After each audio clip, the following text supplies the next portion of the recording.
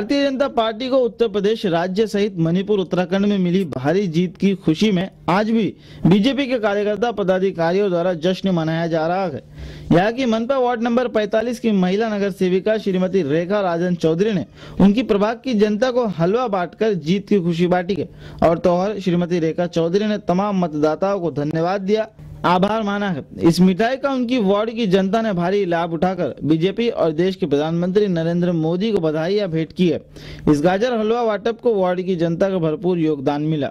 नागरिकांनी बीजेपी सरकारवर म्हणजे देवेंद्र फडणवीसांना नरेंद्र मोदींवर जो विश्वास दाखवला दाखवून बहुमताने महाराष्ट्रात विजय द- विजय संपादन केला. त्याचप्रमाणे आज उत्तर प्रदेशात सुद्धा नागरिकांनी मोठ्या संख्येने मतदान करून बीजेपी सरकारवर विश्वास दाखवून आज मोठ्या संख्येने मतदान करून त्या त्या त्या ठिकाणी देखील बहुमत बहुमताने बी जे पी सरकारला निवडून दिले.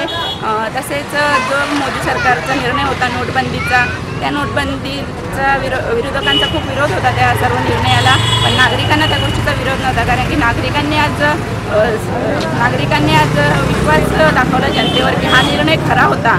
म्हणून त्यांनी बहुमताने बी जे पी सरकारला स्वीकारले. आणि तसंच त्यामुळे त्यांनी बी जे पी सरकारला बहुमताने निवडून दिले तसेच आताच मिळालेल्या माहितीनुसार छत्तीसगड छत्तीसगडमध्ये बारा शहीद बारा जवान हे शहीद झाले. त्याबद्दल मी दुःख व्यक्त करते. त्याच्या निमित्ताने आपण या ठिकाणी गाजरचा हलव्याचं वाटपचा कार्यक्रम ठेवला आहे. आणि त्यानुसार आपण मतदारांचे आभारही व्यक्त करतो.